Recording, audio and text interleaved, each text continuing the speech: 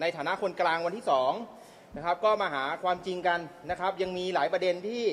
สังคมสงสัยนะครับ วันนี้ผมก็เลยประสานทางท่านสุรเชษฐ์หักพานะครับ ท่านรองผบตรนะครับ ในเรื่องเด็กเนี่ยต้องให้ท่านนะครับเบอร์หนึ่งนะครับ ก็มาหาความจริงว่าอ้าวบางคนบอกว่าน้องเนี่ยมีการ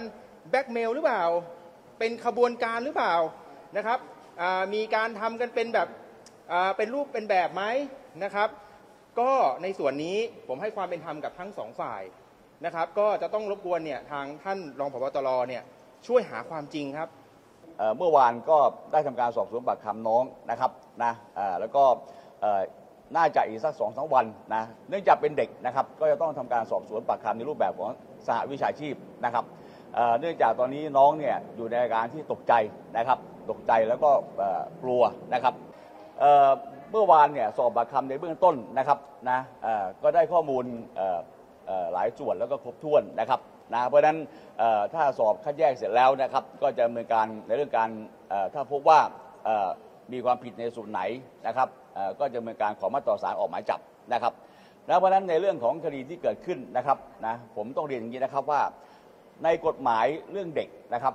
เราใช้หลักนี้ก่อนนะครับเด็กจะไปอย่างไรก็ตามนะครับ นะวันนี้ภาพที่เห็นนะครับเห็นว่ามีการจูงมือไปมีการออกมาจากร้านด้วยกัน แต่ต้องเข้าใจว่าในเรื่องของเด็กเนี่ยกฎหมายเนี่ยทุกประเทศในโลกเนี่ยเขาคุ้มครองเด็กนะครับนะเพราะนั้นอย่างไรก็ตามเนี่ยนะครับนะถ้าหากว่าเป็นการไปล่วงละเมิดทางเพศต่อเด็ก ไม่ว่าจะกระทำอนาจารอะไรต่างๆเนี่ยเหล่านี้เป็นความผิดทั้งสิ้นนะครับนะเพราะนั้นแต่ความจริงที่เห็นได้ชัดเจนก็คืออสองคนเนี่ยนะอยู่ในห้องเดียวกัน อันนี้เป็นข้อที่จริงอยู่แล้วนะครับนะเพราะฉะนั้นส่วนนี้ก็จะเห็นความผิดชัดเจนนะครับนะเพราะฉะนั้นเดี๋ยวรายละเอียดจากนี้นะครับนะวันนี้ผู้กับเมืองขอนแก่นหัวหน้าพนักงานสวนต่างๆ ผมก็เรียกมาด้วยนะครับนะเพราะฉะนั้นในคดีนี้ผมก็ต้องเรียนว่า ในเนื้อคดีเนี่ยไม่มีอะไรที่ซับซ้อนนะครับนะเพราะฉะนั้นในเรื่องของความผิดต่างๆเนี่ยเราเห็นได้ชัดอยู่แล้วนะครับนะว่าเมื่ออยู่ร่วมกันกับเด็กในห้องสองคน อันนี้เป็นข้อที่จริง นะที่เป็นเอ่อเป็นข้อยุติได้นะครับ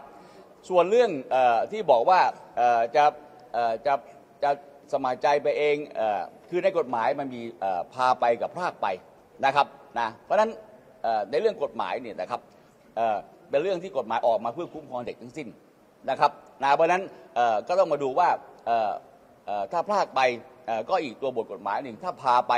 ก็อีกบทกฎหมายหนึ่ง แต่เป็นความผิดทั้งสิ้น